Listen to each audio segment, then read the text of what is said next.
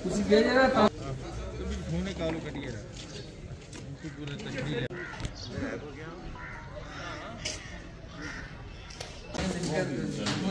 वो जा गया वही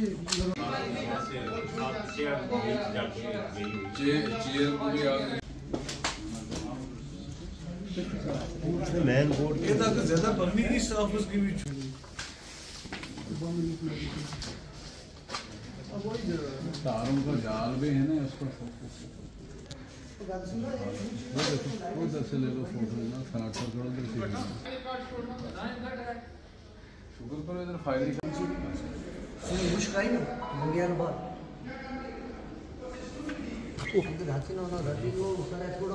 ना मसला ये है कि यहाँ पे ये दो हफ़्ते के अंदर दूसरी बार आग लगी है।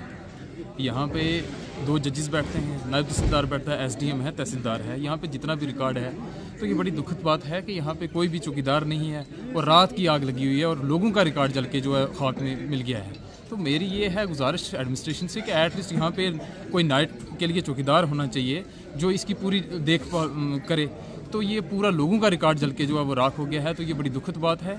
और एसडीएम के आज ऑफ़िस में जो आग लगी है, पूरा एटलीस्ट कम से कम जो है वो तीन चार लाख रुपए का नुकसान हो गया है। वहाँ पे सिस्टम रखा हुआ था रिकॉर्ड था लोगों का, हर चीज़ थी, और पूरा वो जल के राख हो गया है। तो लगी रही और काफ़ी देर जो लगी रही, जिसमें सारा रिकॉर्ड जलकर राख हो गया है, सारा दफ्तर जलकर राख हो गया है। ये तो सरकार का भी नुकसान है, लेकिन लोगों का बहुत ज़्यादा नुकसान है, क्योंकि लोगों के कुछ पेपर यहाँ जो है, ऐसे कीमती पेपर थे जो दोबारा बनने जो है वो मुश्किल हैं, और काफ़ी नुकसान उनका हो। चुका है